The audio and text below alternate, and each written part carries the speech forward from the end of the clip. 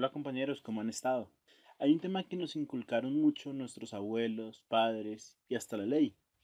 Y es que si un alimento o producto está vencido, no se debe consumir. Pero yo creo que todos hemos probado algún alimento o producto que no sabía bien o nos enfermó. Pero en el empaque estaba la fecha de vencimiento y estaba bien. ¿Pero eso es culpa de la fecha de vencimiento? ¿Nos mintieron las empresas que lo fabricaron?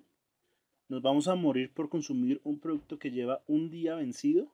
O bueno, según nuestros abuelos y padres, solo estaba pasado. Hoy vamos a dar respuesta a esas preguntas, pero antes debemos aclarar unos puntos primero.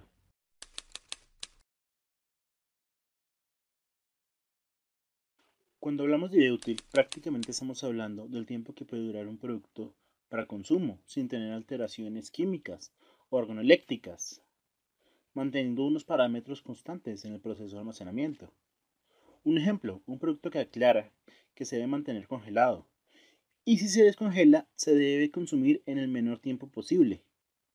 Pero somos humanos, en grupos familiares pequeños. Lo descongelamos en, en lavaplatos, sacamos lo que queremos y lo volvemos a congelar. El proceso se repite hasta que se acaba el producto. Ahora el producto podría decir, que le queda un año. Pero todo cambió cuando se descongeló. Esa fecha de vencimiento ya no es válida, sobre todo por la forma de cómo tratamos el alimento.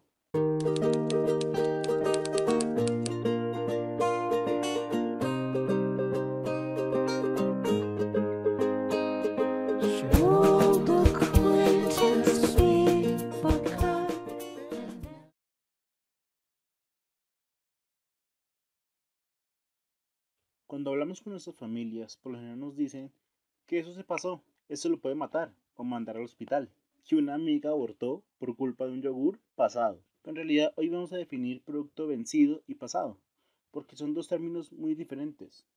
Uno es un término técnico y el otro es jerga nativa, por así decirlo. Un producto vencido lo podemos definir de la siguiente forma. Producto que superó la fecha de caducidad de un alimento, medicamento, producto químico o cosmético. Se podría definir como todo producto que sabe mal o te enferma. Pero vamos, no hay nada más rico que un dulce duro de unos cuantos años.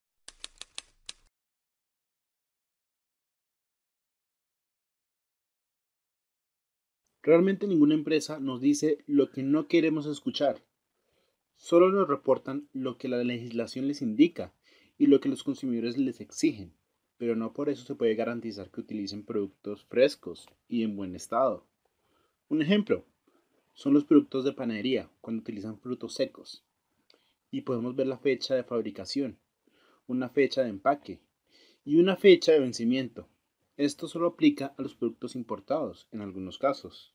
Pero bueno, otro caso es cuando realizamos análisis para declarar que no son peligrosos para el consumo humano pero esa es otra historia.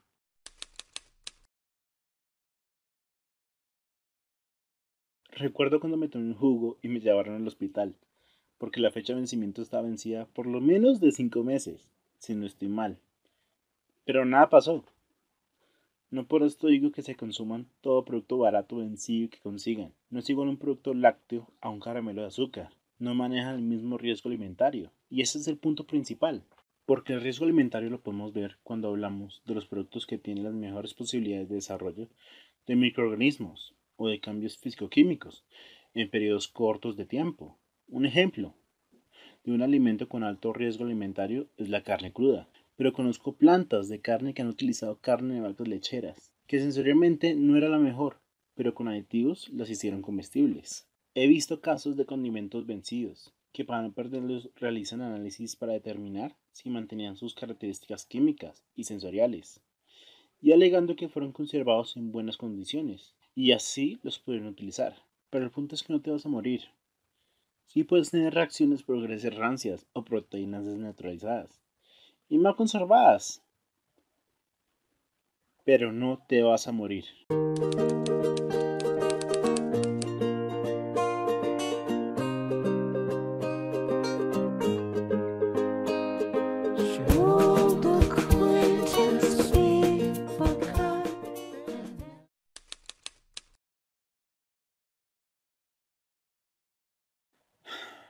Tal vez muchos piensan que no es lógico que los empaques coloquen una fecha que no sea la fecha del momento que el alimento no es comestible y se bote un alimento en buen estado, o que por lo menos los deberían vender más baratos y no botarlos o destruirlos. Pero la vida no es así. Se debe garantizar que el producto puede durar en la alacena de un consumidor el tiempo suficiente para que lo consuma y no se enferme por consumir productos que él mismo no sabe conservar. Por ejemplo, la granola. La ponen en el aire durante semanas y cuando la van a consumir se puede ver crecimiento de mohos en las hojuelas presentes en el producto. O dejan la carne cruda, sin refrigeración, por uno o dos días pero con sal, porque piensan que la sal conserva. Y es más sano que utilizar la nevera. Realmente no sé cómo decir la importancia de tener una buena manipulación de los alimentos en la conservación de estos, para garantizar la seguridad de toda la familia. Pero bueno, espero que les haya gustado este video.